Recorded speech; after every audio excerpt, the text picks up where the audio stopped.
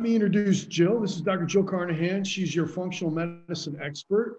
She uses functional medicine to help patients find the root cause of their illness and identify nutritional and biochemical imbalances that may be contributing to your symptoms. Dr. Jill will search for underlying triggers that contribute to your illness through cutting edge lab testing and tailor the intervention to your specific individual needs. She uses nutrition, supplements, lifestyle changes, or medication to treat your illness and always seeks the gentlest and least invasive way to help find hope and restore health and optimize healing. She completed her residency at the University of Illinois in family medicine at Methodist Medical Center and received her medical degree from Loyola University Stritch School of Medicine in Chicago. She received her Bachelor of Science degree in Bioengineering at the University of Illinois at Champaign-Urbana. Uh, Dr. Jill was duly board certified in family medicine in 2006 2016 and is in, and in integrative medicine since 2005. She founded the Methodist Center for Integrative Medicine in Peoria, Illinois in 2009 and worked there as medical director. And in 2010, she moved to Boulder, Colorado and opened the Flatiron Functional Medicine Center, where she is a widely sought after medical practice with a broad range of clinical service, including nutritional consultations, chiropractic therapy, naturopathic medicine, acupuncture, and massage therapy. Dr. Jill is a survivor of both breast cancer and Crohn's disease and passionate about teaching patients how to live well and thrive in the midst of complex and chronic illness. She's also a widely sought after inspirational speaker and travels around the world to teach physicians the principles of personalized and functional medicine. She's a prolific writer, speaker, and loves to infuse others with her passion for hope, health, and healing. She's been featured in Shape Magazine, Parade, Forbes, Mind Body Green, First for Women, Townsend Letter, and the Huffington Post, as well as seen on NBC News and health segments with Joan Lunden. She re- recently co authored the Personalized and Precision Integrative Cardiovascular Medicine textbook, and her prescriptive memoir will be released by HarperCollins in the fall of 2021. Please welcome Dr. Jill Carnahan. Hi, Jill. Hey, Tom. Thank you so much for inviting me. I am uh, just delighted to be here with you guys. We're so happy to have you and appreciate your insights always. So just so everybody knows, um, we're going to do a little bit different here. Jill doesn't really have a PowerPoint to go off of. We're just going to kind of sit here and chat and talk to each other and ask questions and and see if there's anything you guys want to ask Jill that that that's important to you. So I'll just kind of guide us through conversation here, and uh, we'll see where this takes us. So um, I know, you know, in, in conversations with you and in, and in uh, reading about you, and you're, you're very open about your past and, and, and some of the difficulties that, that you've had in, in your lifetime. Could, could you share some of your stories with us that, that would uh, kind of enlighten us about the path that you've been on? Oh, I would love to, Tom. Um, thank you so much for asking. And thank you guys for asking me here. I have such great respect for both you and Kiran and the company you've built and just the support that you give us as clinicians. So I just want to shout out to um, it is an honor to be here with you guys and, and support you.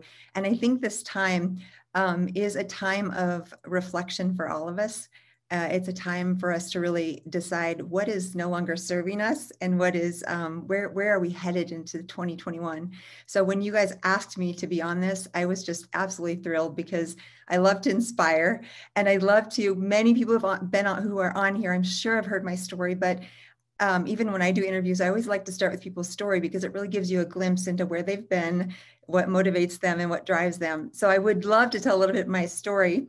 And then um, I do have just like five slides and a few minutes of another story that we can get to in, in a few minutes, um, but we'll start really quickly with my background. So again, many of you have heard this, but in 2001, when I was 25 um, in medical school, my third year, I had a brush with death um, and my own mortality. So I was going along pursuing my dream of becoming a physician at Loyola University. And I was in my surgical rotation and suddenly found a lump in my left breast. So the irony of being in surgery rotation, learning about breast cancer and finding a lump in my own breast.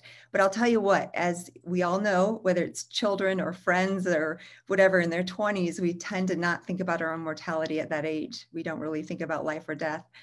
And I was no different. I was absolutely gung ho about becoming a physician. And for our audience's sake, it's very interesting. I actually had, I always say I had the heart of a naturopath. I had a much more holistic healing. I grew up on a farm, one of five children. Um, we had a, a one acre garden with fresh corn and raspberries and strawberries and potatoes and sweet corn. And so I grew up with a really health conscious family and a health conscious lifestyle. And I knew that food was medicine and that medicine starts with what we put into our bodies and our gut microbiome. So I grew up understanding that the soil is kind of a microcosm of our guts and really the health of our soils. Um, reflects the health of our gut. And so, what you guys have done and developed in Spore Probiotics is so game changing because um, our soils are depleted and our soils are um, lacking nutrients and there's been fungicides and all kinds of things that actually disrupt the microbiome of the soils. And so then that actually reflects in our gut health. And i love talking to my my older brother who's a businessman entrepreneur and i kind of call him like the functional soil guy because we have this when we talk about the the depletions in the soil of nutrients it totally reflects the depletions that we're seeing in our patients so that's just a little backstory because I grew up with this heart of wanting, basically the heart of a healer, and I didn't know it. Um, I actually applied to chiropractic school, to naturopathic school, to ch- traditional Chinese acupuncture school, and to osteopathic school, and as an afterthought to allopathic MD school. And what happened was I got accepted to multiple allopathic schools, and I was kind of surprised, like, oh my, um, I guess maybe I should consider this. And what I did, I always joke, I kind of tried to infiltrate the system because um, I knew that our traditional system in the US is still predominantly allopathic. Whether that's good or bad is, you know, who's to say. But it, it is good with trauma. And I thought if I ever wanted to go overseas and do mission work or anything, I would still probably within the system be able to do the most good. And I knew that if I wanted to be a change maker, which is my heart, a healer and change maker, that I wanted to go into that system, learn it well, because there's something to be learned there, and then take and transform medicine and I know many of you listening are physicians. And so you have that heart. You wouldn't be here if you didn't, because you're using these kinds of principles in your patients and starting to transform your own practice. And as patients ask you questions, you're going deeper. I remember in medical school, I was such an outlier. I was kind of the weirdo. I had started a, a integrative medicine club, the first of its kind at Loyola. We brought in chiropractors and massage therapists, and we kind of introduced these fields to the medical school. And I loved doing that and breaking the mold, but everybody thought I was kind of weird. And then what happened is a decade later, I get calls all the time from my old colleagues in medical school because their son or their daughter or their husband or someone they love has gotten ill and they don't have the answers. And so they say, Jill, you know, I remember you way back then were questioning. You were questioning, you were asking the questions. And they'll say, Do you know if there's anything that could help my husband's seizures? Or, or we had a mold exposure and I heard you know about mold and no one taught us this in medical school. And so I love now that I'm, it's validation in a way because I've always known I've followed my own heart and my own path, knowing that this was right and true. Um, I remember uh, when I got diagnosed with Crohn's disease in medical school and my gastroenterologist said, Jill, diet has nothing to do with this. And I just, I felt so like I didn't know much. I didn't have confidence in myself but there was a little voice inside of me that even though I didn't know the answers, I thought that can't be true. And I fired him and I went on my journey to heal myself from Crohn's and I realized diet does have something to do with it. So back to the story where I left off at 25, lump in my breast. I asked my husband at the time and he said, Jill, this is, I don't feel good about this. You need to get it checked out. So of course I went in, I always joked I didn't even have time at that time with surgical rotation, working 36 hour shifts but I went ahead and got a mammogram and ultrasound and the full workup. And again, you've probably heard me tell this before, but I remember sitting next to my colleagues and teachers. One was a radiologist, looking at the films with him and seeing the look, the flash of fear cross his face, and knowing that moment my life was about to change. I knew deep in my soul, even though I didn't have a diagnosis yet. And he said, Jill, if you were 55, this is highly suspicious for carcinoma or cancer. But you're 25 and get it checked out and get a biopsy and probably nothing to worry about. He was trying to reassure me, but I knew. I already knew. I went in and got a biopsy. And two days later, my oncologist, again, a teacher and a friend, called me. If you've ever had news like that, you remember the place where you were, the place where you were sitting. You remember the texture of the chair, the color of the walls. And I remember all the details of that day when she called me. And she said, Jill, I don't know how to tell you this. You have cancer. And not only cancer, but you're 25. And this disease, breast cancer in a 25 year old woman, has a high fatality rate. you're in for the battle of your life. The cells that we found in your breast are extremely aggressive. They have the highest grade, the fastest growing, the most aggressive, awful cells that we could have find in cancer. Those these are yours. You're going to need to do chemo, radiation, surgery, everything you have. And I had to choose at that point because I believed in natural healing and food as medicine. But I also knew that I had a purpose in life to inspire and to heal and to bring change to medicine. And I knew that wasn't going to be the end of my life. I just, I knew I had to survive. And so, with um, everything I had, I went diving into the literature and I looked at all the studies and tried to make best decisions. And I have such compassion for those people who are trying to make decisions about their health, um, especially as laypersons. I had the medical background because that amount of data was astronomical and nothing was black and white. We think that decisions in medicine are like black and white and it's all gray and the physicians use the best information they can to pull this together and to make decisions. But I realized right then in my third year that what we think is black and white science is so far from it. And you guys, as researchers, Tom and Kiran, know this. And so, as we in functional medicine dive into the cutting edge research and we find these things about nutrition that are true, just because they're not published in JAMA does not mean they're not true. So, I made decisions, and what I decided to do was go with the most aggressive conventional therapy possible because I wanted to live. I had a purpose in my life to live and to continue. And it's funny, this is relevant, I promise. Um, but the facing my own death and mortality at that time, it, there couldn't have been a more horrible thing to happen. I mean, I didn't know if I was going to live six weeks or six months or six years, but that will to survive has always been my signature. And what I learned now in my 40s is I was born, number one, to overcome adversity so that I can teach and inspire others. But number two, to actually experience some of these things, experience the suffering, experience illness, because the experiential learning in me gives this fire and passion and understanding that cannot be bought with a textbook, cannot be learned at a lecture. And so, any of you listening out there, if you have gone, I mean, all of us have gone through tough times this year. If you've lost loved ones, if you've dealt with illness yourself, take these things as teachers because they are the most precious gift you will ever have. And now I can look back and I think, oh my goodness, the platform that I have, the understanding that I have, it came from great suffering. It mm-hmm. came from great trials. It came from looking in the mirror, bald and scarred, and down to the lowest weight since I'd been like 12 years old and not knowing if I was going to even live. My gut was destroyed by chemotherapy. I had three drug chemotherapy. And we know now one of the drugs, Cytoxan, its very nature is to increase permeability of the gut. And part of its activity against the cancer cells is to trigger leaky gut so that you have LPS induced endotoxemia, which, of course, Tom and Kiran are the leaders on some of the teaching here. And this triggers that immune reactivation of all the cytokines, IL 6, IL 2, et cetera. And that actually activates your system to fight the cancer. But of course, as you can imagine, coming out of that treatment, my gut was destroyed. And unbeknownst to me, I also had undiagnosed celiac disease I had a high risk gene, NOD2 for Crohn's. And um, all of this led to six months later, I had um, cyclical fevers. I had uh, granulomas and fistulas and pain and bleeding. And as you can imagine, you've heard this before too from me. I was diagnosed with Crohn's disease just six months after I completed all the treatment. So here I am bald, I am malnourished, I'm down to the lowest weight. And I wasn't discouraged because I've never given up hope. I've never in my life lost hope. And I hope today that's one of the gifts I can give you is how to hang on to hope in the most dark times because it isn't always easy. Um, but at that time, I got hit with another diagnosis. And as I mentioned, I sat with my gastroenterologist and we had this talk. And I just could not believe that food couldn't have anything to do with this. Now, funny thing was, I was had been a vegetarian from the age of 14.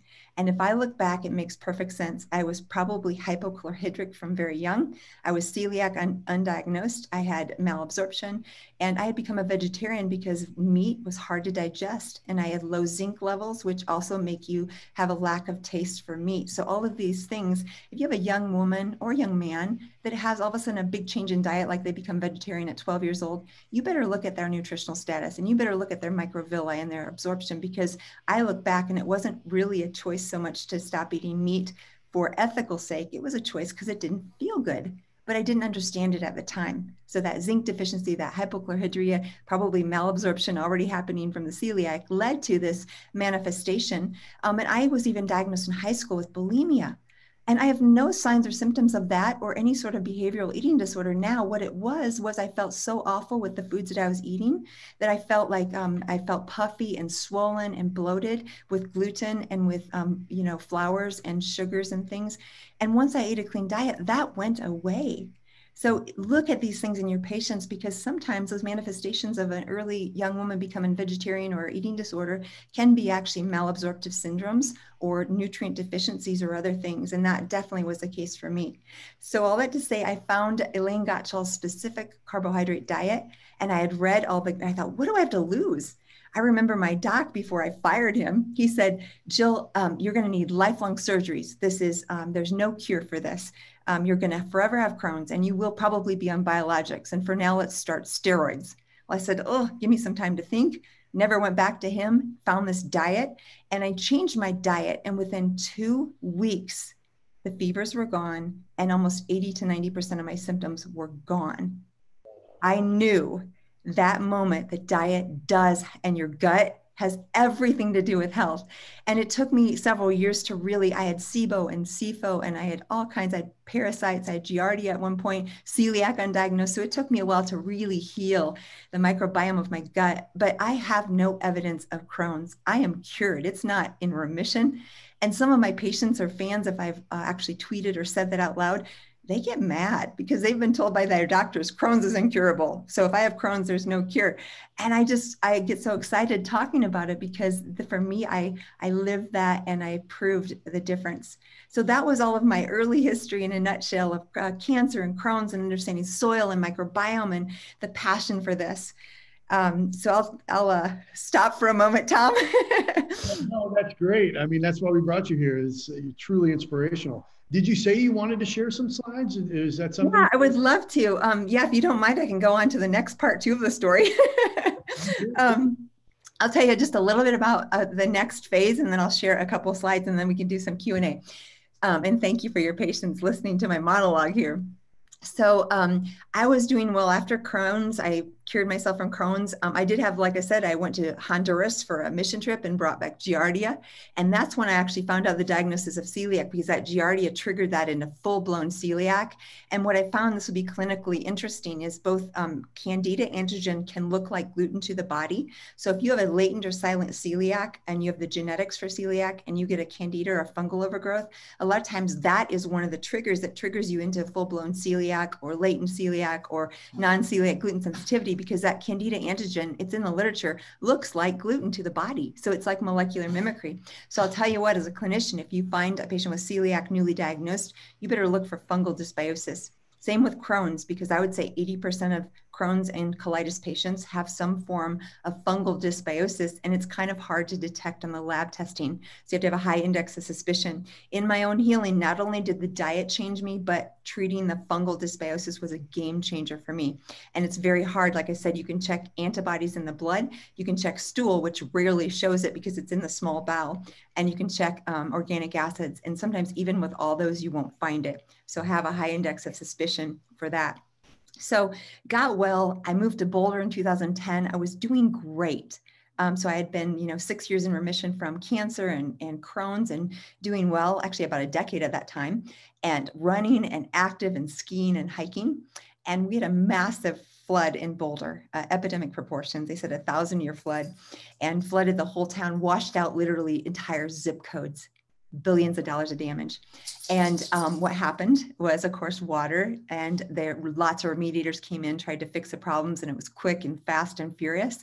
And ever since then, we've had mold problems in this town. And I didn't know anything about mold. I always say I would have never chose to be the mold expert, but mold chose me, just like cancer and just like Crohn's. And so what happened was there was a basement and then a regular level and then an upper level where my office was. And in that basement, it had flooded. There had already probably been a little bit of mold growth and it just went crazy. And then right directly under my office was an unsealed um, crawl space that had standing water. And then in my office was, um, I put down brand new, I painted the walls, redid the office, put down bamboo flooring And I had no clue about construction or these kinds of things. And my contractor put beautiful new bamboo flooring on like 30 year old carpet. Can you imagine? So every puff I walked on that bamboo soft floor, I would puff up this gross old carpet that was right over an unfinished crawl space full of standing water. So I was just in this petri dish for mold, unbeknownst to me. And the year after the flood, I started having rashes and my eyes would be all red. I'd have like trouble word finding um, and difficulty with like um, like I type and type in a wrong word or names, uh, different things like that and then um, shortness of breath. And I developed a new onset asthma, which I'd never had asthma in my life. So trouble breathing. And albuterol did nothing. Um, it wasn't that kind of an asthma. So it was basically an interstitial inflammation from the mold. And I kind of knew a little bit about mold, knew that might be the case, but I was in denial for quite a while. And when I finally realized I had to figure this out, I was kind of going downhill pretty quickly. Um, I went down and got bulk samples with an inspector without even any protective gear. I remember like scraping it off the wall, and this is black Stachybotrys. Now I would never do anything like that. And we took send the sample in. And then what I did at that time, which was very new and very you know controversy, is urine mycotoxin testing and my mycotoxins in my urine were super high for T2, which is trichothecenes. So these are basically, um, you know, really bad toxic. These are used in chemical warfare. So they're toxic, they're nephrotoxic, they're pulmonary toxic, they're neurological toxins um, and skin toxins, et cetera. They affect all the systems. So I knew at that point, and I had to, I literally found the day after Christmas 2014, and I never set foot back in my office after that moment. I got rid of everything, all my library, all my books. I took the charts and it took me a couple months to get a new location. And actually, my labs continued to remain abnormal until I got rid of the paper charts and scanned them in. So it was a, a really big deal. But then, just like everything else, I was born to overcome and experience adversity so that I can teach and inspire others and help my patients. So I had to figure this out. So it was just like of necessity that I dove into what is mold? Why is it totally taking me down? And how do we heal from this? And of course, Dr. Shoemaker was a leader at that time and worked with some of his stuff. And then as we've developed ISEAI group and some of the other physicians, many, many other professionals that are um, more educated than I am, we really, really, I feel have transformed. And it's um, perfect timing because as people go with COVID back into their homes and they're more inside, um, we are seeing epidemic proportions of mold related illness. So over that next um, 18 months, I healed from mold. And um, it's just been my passion ever since the gut and the mold and all of these things. So that's the mold story. And I've got one more. I'll go ahead and share just a recent experience, and then we can go into some questions, Tom. Um, and I think if you, if I can share my screen, I'll share these slides. Um, okay, so this is recent, and I thought it would be fun to share because it's my own little adventure that I did last fall. So can you see the photo there? Wow. Yes. Okay, so let me tell you about this, guys. Um, last October, um, a writing coach that I have who's working on the book with me, who's an expert rock climber, he's been a guide for years. He said, Hey, Jill, let's, why don't we go climbing? Because as we do this story, I'm writing my prescriptive memoir and it's very personal, as you can imagine. And so there needs to be this trust between the coach and, and myself. And he, I think in his mind thought, well, there's no greater trust than to take someone climbing. And I have to tell you, like, I had never even been in a rock climbing gym. Like I had no, like zero experience.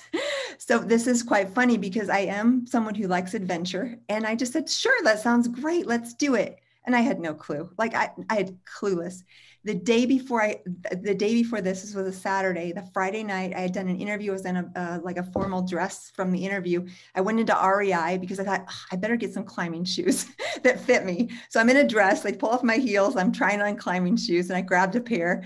And what's funny about climbing shoes, they're really tight. So I bought a pair that was like tight enough to work, but like didn't totally squeeze my circulation. Hopefully these will work. And they were red. So I kind of felt like, um, you know, in the Wizard of Oz, my magical red shoes. so I left, came the next day. I didn't even know what to wear. I mean, I'm wearing like Lululemon and a jacket, and most of the climbers have a little bit more tough material. So, um, but my um, writing friend was very patient and he said, okay, here's the rules. First of all, I want you to try here practice. He said, all you need is these eighth of an inch holds for your feet it you don't need a lot and as long as you can get a little edge you can support yourself. And he said um, you're gonna you're gonna think you need a lot of upper body strength which i i have a decent amount of upper body strength but he said it's actually pretty equally distributed so don't worry if you feel like you're not real strong in the upper body. And then he said this he said jill um, with the equipment the way climbing is once we're about a third of the way up if you have problems if you're afraid if you want to turn back let me know. But once we're a third of the way up we're committed we, we cannot turn back because we lose too much equipment. It's too dangerous. There's this piece so part of the the danger and the fear was knowing i had to kind of make a decision as i got up there of if i could continue or not. So i get on the rock right at the base you know just a few feet above my very first experience and i slip and fall. I scrape my hand. It starts bleeding. I thought okay this is great. I'm like literally at the base and i'm bleeding and like wounded. No no big deal though. We had a band-aid all taken care of and then i started and I was literally shaking. But the lesson here, and you're like, why are you telling your rock climbing story? Well, there is a point, I promise. The lessons on that rock are so important for all of us because what I had to do to get up that three and a half hour climb on the third Flatiron was number one, I had to believe that I could do it. I had to believe in myself. Number two, I had to look right in front of me and know I was on solid rock because I had grips and I had a rock in front of me and it was solid as can be. And number three, I didn't look back. So the presence that I had to practice, it was like if you think about meditation or some of these meditative presence practices, rock climbing is probably the best experience of that in any form of sport because you absolutely, probably the same as surfing or any of these things, you have to be in a flow state in presence. Because if you look back, for me, if I would have looked back, I actually didn't take in the view because I was afraid that if I would look back, I would completely lose it. And I know I look brave, I was terrified and the whole time I just kept thinking, okay, rock and just one foot in front of the other, one hand in front of the other, I can do this. And I literally, you guys, I sang songs to myself on that rock. I just sang. I sang to myself and grabbed a rock and then sang. And people were around, you know, but I was far enough away that I thought, who cares what they think of me? I'm going to do this and I'm going to get up and get through it. And here's a couple more pictures. Here's me, you know, looking down. But I didn't look back. I stayed present and I looked forward to what was possible. And when you ask yourself what else is possible, it opens up your subconscious and allows you, your body to creatively think of solutions. And what's funny is I did it. And when I was towards the top, I started getting shaky, just I think from hunger and adrenaline and after three and a half hours. But it was the most fantastic experience of my life so far. Here's on the side looking out. And what's funny, you have ropes to protect you, right? If you fall, but you could still fall and get gravely injured hundreds of feet because there's only, you know, um, I don't even know the terms for rock climbing, but there's only these attachments every hundreds of feet or whatever. So if I were to fall, I was still going to plummet for many, many thousand, uh, hundreds of feet and potentially die. But so it was definitely, this is looking to the side on the second Flatiron. So the views were amazing. And I didn't really get to take in the view until I got to the very top because I told myself I can't look back. But once I did, um, you know, I was able to enjoy that. At the top, I was kind of a little bit adrenalized and shaking, but I was like, I did it. I did it. And I just, again, I share this not to bring any glory to me, but I hope you can see yourself in this type of experience because this year has been a rock climb for all of us. We have to look straight ahead. We have to hold on to what we know to be secure our family, our friends, the things that resource us, um, and know that this too shall pass. And then when we get through it, we're going to look back and say, look what we did. Look what we accomplished as a group, as physicians, uh, how we took care of people, because we all have um, these experiences and it's no different than mine. This was at the very top. I rappelled off. That was the funnest part. I just jumped and, and slid down the rope off the rock at the top to the next base and then climbed down. And that was easy. And the last thing in this story, I just wanted to leave you with this is a scary year. When you think about stressors, um, we know from Hans Selye, he talked about um, novelty, unpredictability, threat to ego, which is like threat to our health, and sense of control. That's the NUTS acronym for stress induced cortisol response. Every one of those four this year has been at an all time high. Novelty, it's all new. We've never done this before. Unpredictability, we don't know what's going to happen tomorrow lockdown, no lockdown, school, no school, no work, whatever, no patients or many patients, um, threat to ego or threat to self or threat to health. We have this threat that's kind of invisible and a little scary if you don't know what to do with your immune system. And then sense of control. we don't have a lot of control over this virus. So I just want to encourage you it's okay to be scared, it's okay to have rough days, but being scared means you're about to do something really, really brave. Love it.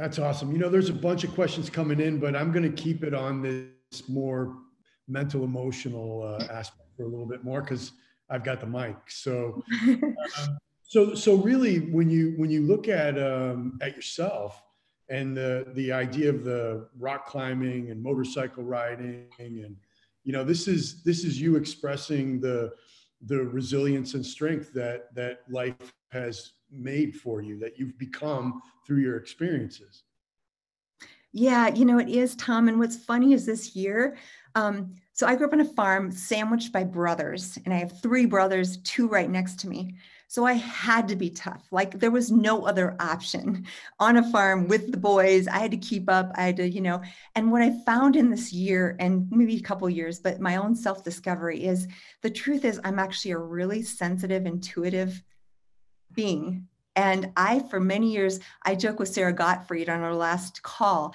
We both, when we first stepped into speaking, we wear these black pantsuits and we laugh now because that's so not me. I, I now wear flowing dresses because I want to embrace my femininity.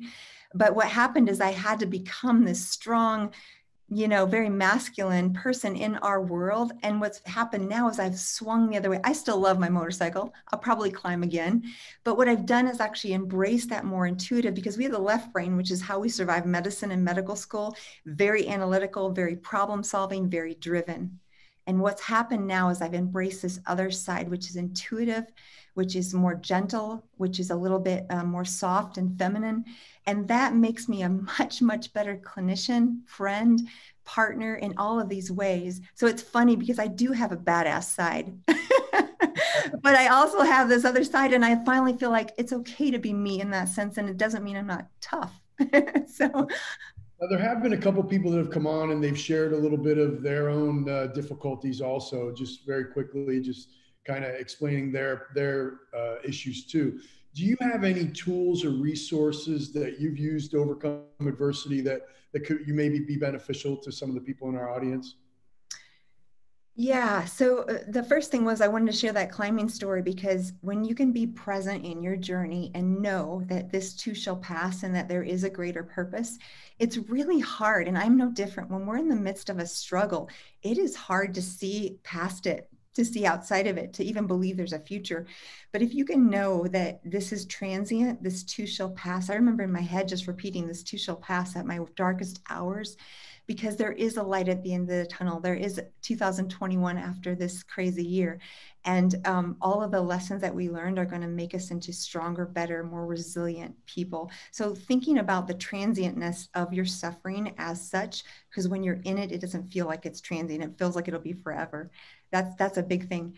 Um, for me personally, I have a very strong faith in a higher power.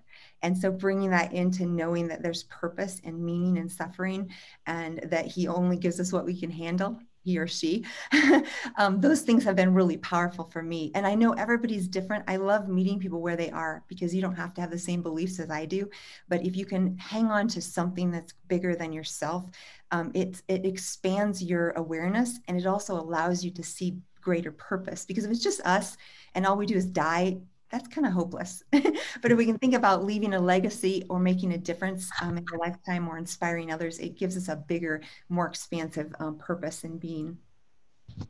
Did you, ever way? Did you ever lose your faith or lose your way since you brought that up? Yeah, no, that's a great question, Tom. You know, um, I have had some dark times and some times where I'm scared and I feel hopeless or I feel afraid or I'm not sure if I'm going to make it. Because even though I sound, I say I was born to overcome, there's been scary times. But I will say that is one thing that has never been shaken for me. And there's no shame if it has been for you uh, and you're listening, it's okay. Um, but grab onto that again because I do feel like that's been my rock is like I always believe there's something better coming and that there is purpose and meaning. Um, and so through prayer, meditation, and that's often sometimes all my prayer is just help me, help me. But by calling that out, you actually bring the resources that you need. Right. That's awesome. I've got a quick question for Jill if, if uh, we have time. Hi, Jill. It's, I love hearing your story, of course um, your passion, your compassion, your intelligence and empathy all comes out when you speak about your own personal story and your personal why as to why you do what you do and, and who you are. Um, so it's it's always um, inspirational and awesome to hear that.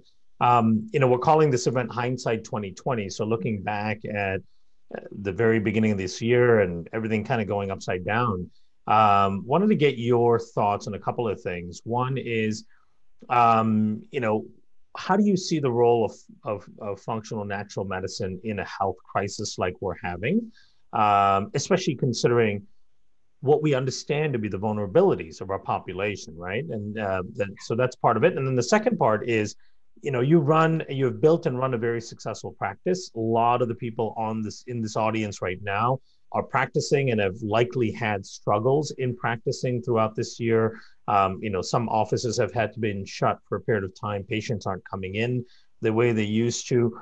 Uh, what are some pivots that you may have done this year with your practice that has helped you through this year? And then, are there anything, any of those things that you will maintain moving forward?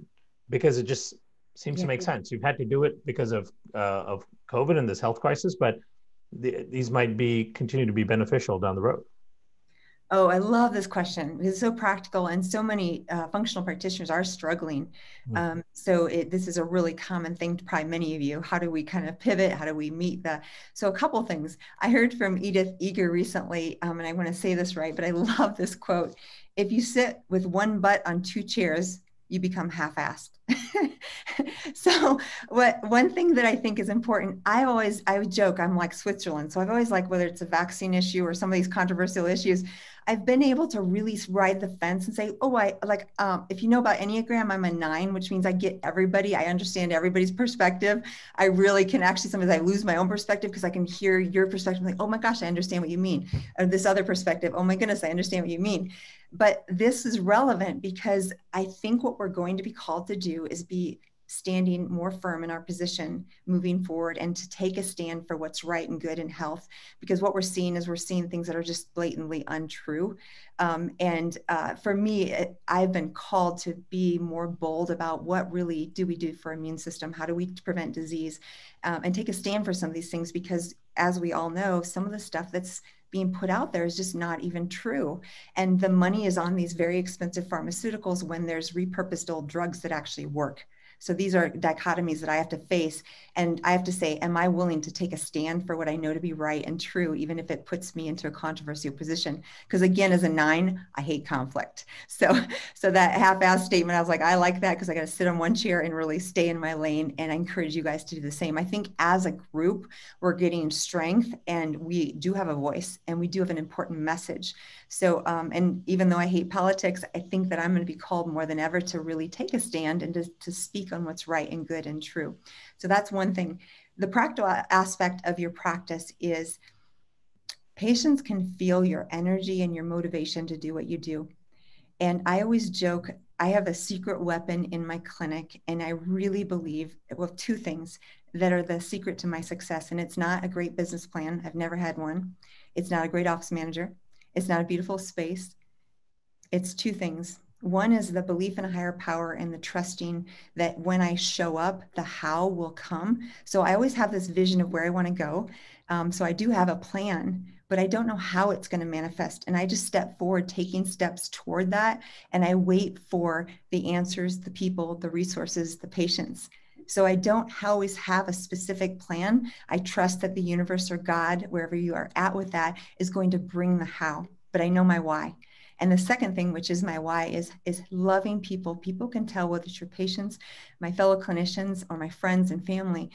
If I come from a place of true love, uh, that will bring the energy like truly the love loving people as a purpose for healing loving your your um, staff loving your patients people can tell that and i always find that's the magic because it's it comes from a true genuine place and that just draws people in because people are hungry people are hungry now more than ever and you might think this is all like fluffy and it's like well jill what about your business plan what about your bottom line i have people that i hire for that but would I stay? It's like the if you've ever read Rocket Fuel, Walt Disney and a lot of these great companies, they have two people. One is the inspirational leader that stays in this place of inspiration and vision, and they know the why, but they don't know the how. And then they hire someone to take care of the business plan and the accounting. And I don't do that because that pulls me down. I have smart people who do that.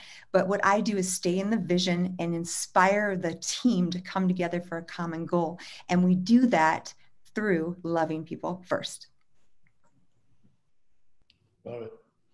That's amazing. Yeah, thank you. And you know, there, there's some we mirror some of that at Microbiome Labs because I know you know even from the beginning, both for Tom and I, we were. I would say I would speak for him as well that we're both much better at the why than we are the how. Yeah. You know, we've got a good general idea of the how, but but we're not great at executing that part of it. You know, and, and the company really started to take off when we brought in really capable people to do the how.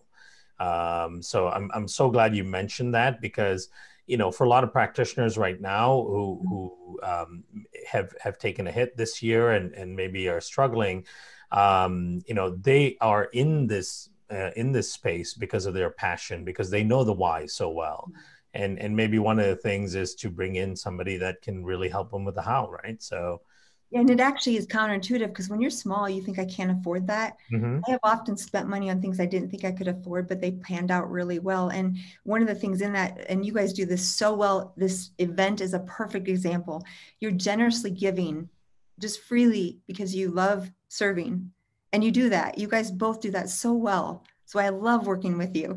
You give generously of information, of knowledge, uh, you know, product information, um, and people can see that, and so you build goodwill. So I don't do that because I get something back. But what's happened is as I give freely of information and my knowledge, um, it just comes back to you. So what I would encourage you as a practitioner is is give away information. You know, uh, educate people, um, and show that love and generosity because it will always come back. It'll always, and then hire if even if you think you can't afford it, hire those people that will help you support you to be the visionary. Yeah, absolutely. And, and I think one of the things you've done really successfully is you you've you've built a voice out there in the marketplace, right? And and that affords people good, practical, uh, objective information on health and wellness and so on. And I think more of the of the people on in this audience need to be out there um, expressing their voice because there's a lot of nonsense out there, yes. right? Uh, like you expressed, and and the more um, you know people with this background of functional uh, holistic health, the more that are speaking out there, I think the better off um, our population will be uh, in general, right? I think imagine if most of the um, the medical uh, community was based on holistic health and integrative health we wouldn't have as vulnerable of a population dealing with COVID. Yes. You know, our, our population is especially vulnerable because of the way this pathogen targets uh, the body, right? And it would with metabolic dysfunctions, obesity, and so on. So, um, so yeah, very, very powerful message. Um, you know, congratulations on everything that you've done. Um, you know, uh, the and I, I think you've got a book coming out next year. So right, uh, I think Tom mentioned that in the intro. Yes, yes, I'm yeah. working on it diligently now. Between writing a book is hard work. You all know that who've done it. it's a lot, especially when you have a couple other full time jobs. yeah. Oh my God. Uh, when when is that slated? Uh, what what would be the best case scenario in terms? Well, of- it's funny. The timeline shifted a little because of COVID. So as I was planning on having the manuscript in it by February, I, it may be six months after. So it might actually be the early 2022. But okay, we shall, we shall see. It within the next year is my hope, hope for that.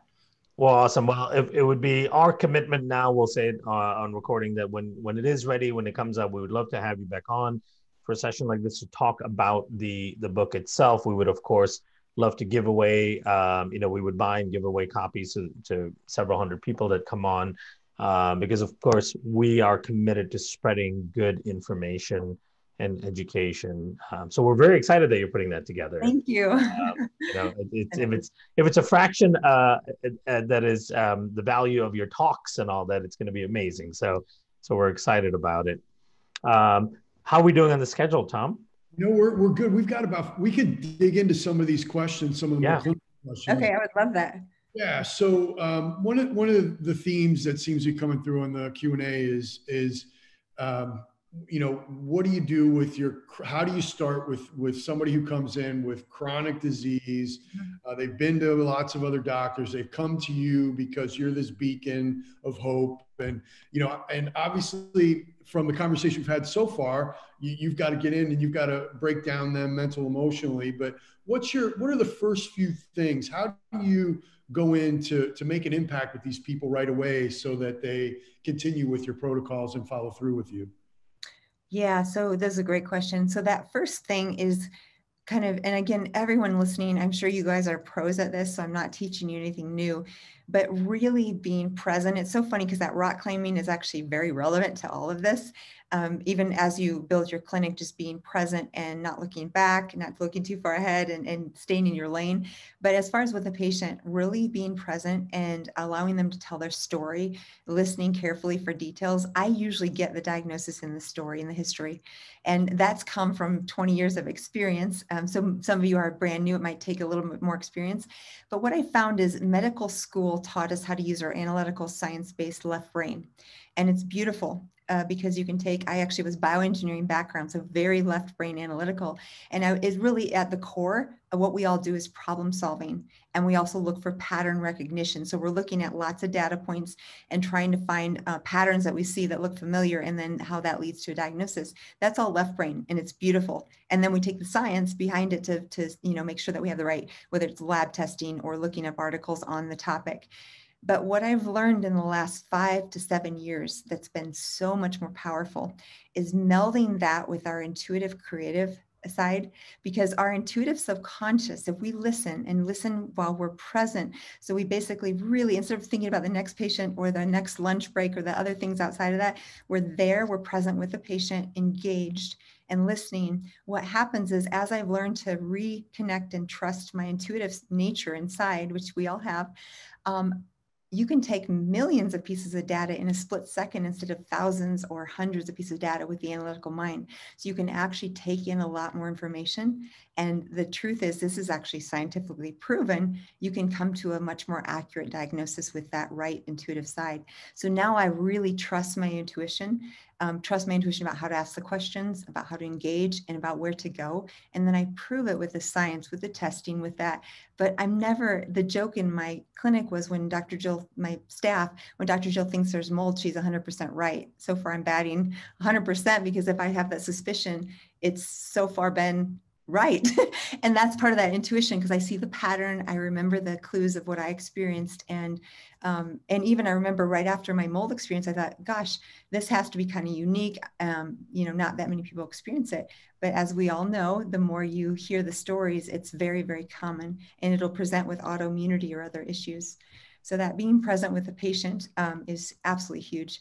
And then again using the science to back up what you're um, and really being open to if you listen to the patients, they usually know what they need and they know their diagnosis. They might not have the answer like the word for it, but if you listen carefully, they will give you almost all the tools that you need in the direction you need to go. That's amazing how, how far a little bit of compassion can go, a little bit of listening, a little bit of compassion can go. Uh, just kind of opens people up for the possibility of healing, you know, versus. Well, and, and I have mentioned this in my, but this is actually huge for all of us and for our patients a patient the other day was like she was so in her like belief of like i'm not going to get well and you know and she kept saying well can you prove that this kind of salute you know uh, this condition you've you've helped she was very angry had a lot of issues it wasn't about me i didn't take it personally but i told her this and you could do this for yourself or for your patients i said let's reframe that and let's ask i put this on her summary let's ask the question what else is possible because when you do that your subconscious lights up and it's like oh yay we we get to find an answer. When you ask what else is possible your subconscious goes to work. It will be in your dream it'll be in your subconscious or wherever you're at and it's just brewing and chewing on a solution and it will come to you. But if you never ask that question, your subconscious doesn't have the opportunity to get the answer. And as I already said, our subconscious is analyzing the light, the sound, the, the temperature, thousands and maybe even millions of pieces of data, whereas our conscious mind can't even see all those pieces. So it can actually gather a lot more information for you if you harness that power. That's awesome. So I have to open up this box because you're here and everybody always asks the question when you're here. Mold, We're going to talk about mold.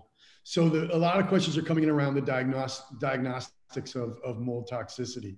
And so can you speak a little bit on your experience? Obviously, you're trusting your intuition and, and your own experience with it too, but from a diagnostic side, uh, what, what do you like to, to, to use to validate your, your intuition? Okay, so let's go from the right brain back to the left brain. This is perfect. Um, so yeah, I love it. So first of all, uh, clues to the diagnosis. This is a multi-symptom, multi-system disease. We see that with like Horowitz's um, model. We see that with Ritchie Shoemaker's model. We see that with the um, cell danger response with Naviaux's model. These are all ways of explaining the elephant in the room by different language. It's all the same thing. It's our chronic complex conditions. Mold is no different. Um, Lyme disease is no different. But these things that we're seeing at the root of functional medicine, let me give you a couple framework things that I think are super helpful. Number one is at the root of almost every case that I see is toxic load, and infectious burden. So if you think about it in those frames, you're going to have some sort of a toxic load, you're going to have some sort of infectious burden, and how those interplay, they create inflammatory responses, they create cell danger responses, they create cytokine responses, and you're going to see the manifestations of an autoimmune disease like MS or Hashimoto's thyroiditis or rheumatoid arthritis or gut dysbiosis or SIBO. But at the root there is this toxic load, infectious burden. And when I really got my head around that, it made functional medicine simple because I just have to go down and try to find out which how those are interplaying and how to go backwards and treat some of the infections or help the immune system to overcome those and decrease the toxic load. And I think whether it's mold or anything else, the toxic load in our environment is increasing exponentially every year. And this is the elephant in the room that's creating the immune deficiencies and the toxic burden and the obesity and the gut dysbiosis and all of these things that we're seeing manifest. So at that level, we have to teach people very basic things about how to live a clean life. I always say clean air, clean water, clean food. Super simple. It sounds like, well, how could that possibly help someone? But if you really go back to that, that's 80% of the battle clean air, clean water, clean food. And then we add on supplements and all these other things that we do. So understanding toxic load infectious burden is a start. And that's relevant to mold because what happens with mold is years ago, there was a lot more um, interplay with the external um, air in our homes, and now they're airtight. So whatever happens in there becomes more toxic because there's no way for the airflow to breathe. So our LEED certified building might be way worse than an old log cabin built in 1900 because there's circulation of air. Then we went through fungicides in the paint and we killed off all the very uh, non aggressive molds. So what happens now is in these interior environments when there's mold, we're getting growth of more toxic species. Here's another thing. Dr. Klinghardt put um, Petri dishes under a household router and then um, under a, a protected um, router. So there was no EMFs. And that um, Petri dish that was under a regular household router with the EMFs that we all get exposed to every day um, grew 600 times the mycotoxins. So it was a very much more aggressive form because it felt that electromagnetic frequency. So as we put more EMFs in our environment, we put more cell, cell towers and things, even if our human bodies don't notice, which a lot of us are sensitive, um, the toxins and infections, especially mold, um, that is colonized in our bodies or in our home, they can sense that dangerous signal and they produce more toxic uh. So in our homes, we're getting uh, more aggressive molds and we're getting more mycotoxins being produced. So that's a big part of it. And that's why we're seeing more of this. So, what to do? So, symptoms might be brain fog, brain is massively affected, um, confusion, mood disorders, sleep disorders, insomnia. Skin is often affected, and the mast cells can be sensitized by mold. So, sometimes we see the whole slew of mast cell activation, which could include POTS, postural orthostatic tachycardia. It could include rashes or hives or uh, permeability is increased by histamine. So guess what? If you have mast cell issues, if you have mold, you're going to have a leaky gut. We know in my studies that low MSH, which is a marker we use in um, mold and chronic inflammatory response um, indicates that there is, excuse me, massive permeability. So low MSH by nature is going to increase permeability. And in my studies, by lowering MSH and knocking out MSH, they created a Crohn's and colitis situation in mice. So it could even lead to inflammatory bowel disease. So the gut is massively affected. And one thing I love about your uh, company, Microbiome, and uh, Megaspore, and some of your products is I feel like they are the best. The spores, and you didn't ask me to say this, I'm just saying of my own free will, they are the best thing we can do for leaky gut because number one, the evidence points to increased diversity with the spore probiotics. The IgG and bovine immunoglobulins are some of the really powerful things we can do to sop up those LPS endotoxins and actually seal that permeability. So with mold, you have to deal with the gut. And then we see things like um, lung damage, lung inflammations, chronic sinusitis, or um, aspergillus or biofilms in the sinuses. So mold has all these diverse effects on the body. And then what do we do to diagnose it? So I still do some of the chronic inflammatory labs on LabCorp, Quest, or your hospital lab, and those could be TGF beta, MMP9, MSH, um, ADH, and osmolality. I don't usually check VIP anymore. And the HLA genetics can be tested, but the original data was proven to be not well done. So we do know that there is a percentage of people genetically that can't tag the antigens of mold and clear them easily from the body. So what happens is they ro- go round and around and around and they cause collateral cytokine inflammatory response and damage. And those people need assistance in the liver gallbladder axis and in pulling out those toxins with some of the things like glutathione, NAC, um, lipoic acid, liver support, and binders. So the diagnosis can be done with those inflammatory markers. It can be done with urinary mycotoxins, which I'm a big believer in. There's a lot of controversy. Now you have to know what you're testing. You're testing excretion. So um, what you need to know is if you start a detox pro- protocol and you get higher levels of excretion in the urine, that's good because you're excreting the toxins. So what I typically do is test it at the beginning and see what they might be excreting, see if it correlates with what we find in their environment, and often it does. So say they have Stachybotrys in the environment and T2 um, roridin or one of those uh, Stachybotrys T2 toxins in the urine, that correlates. And then as I'm treating, I usually won't repeat urinary mycotoxins for about six months or more because if we do it quickly, they're going to have higher levels and then the patient's confused and the doctor if they don't know what they're doing is confused. So i don't always repeat that real quickly. Um, you can also do a visual contrast test either online i do them in the clinic and if that's abnormal that's testing ret- retinal acuity for black and white lines and ability to distinguish and that can be abnormal because of the blood flow and the cytokines that affect the blood flow in those small vessels in the retina. So you can actually detect biotoxin exposure. That was used in the 1940s um, in soldiers that had had biotoxin exposure. So it's actually a well validated tool and it's free. So it's nice to use that. Um, so screening questions, visual contrast, urinary mycotoxins, um, the test in the blood that I mentioned, um, and then a great history. That's kind of how we make the diagnosis. And typically I'll do some form of either an inspection or an ERMI test or Petri dishes, some form of testing their environment as well. That's awesome. Can you give everybody a little bit more information about you? We've got a couple people that are asking where your clinic's at and how can they become a patient and all that stuff. So could you just give a, a little recap of where you are and what, what your uh, information is for everybody? Sure, sure. And I'll try to include a link in the chat. So my website, jillcarnahan.com, I have tons of free stuff. So free blogs every week we have blogs out. So MCAS mold, um, you know, any of these kinds of things we're talking about, environmental toxicity, you can just um, search on the search bar in the blogs, and I have 10 years of blogs, lots and lots of content, all free. Um, if you get a chance, you can click on the top there and sign up for my newsletter. That just comes out every week with free information as well. And I would love to have you sign up for that.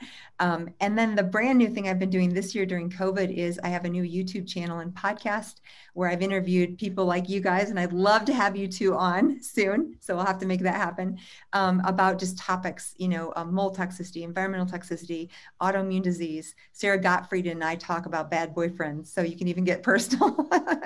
um, but that's on just YouTube under Jill Carnahan, and I'd love for you to subscribe there. Again, it's all free, um, but those are kind of the main um, outlets that I have. Jill, so awesome. We could nerd out like this for hours on end, but uh, we, we've got to put a put a stop to this at the top of the hour. But thank you so much for coming and uh, offering us your time and your expertise. It's always great listening to you, whether you're speaking at a, a lecture or whether we're just sitting around catching up and, uh, and, and, talking shop. So thank you again. And uh, Microbiome Labs is very excited to be working with you. And uh, we appreciate all the hard efforts uh, that you've done with us and uh, look forward to working with you into the future. Thank you. And again, I just want to say publicly, I love and appreciate you guys so much. I don't know if there's another company I like working with more because of your integrity, your commitment to great science and great products. I really, really believe in what you're doing and I support you 100%. So I'm always honored to be part of, of your programs and your company, and I appreciate it very much. Awesome. Thank you so much, Jill. You're it's welcome. so kind of you to say thank you. You're welcome.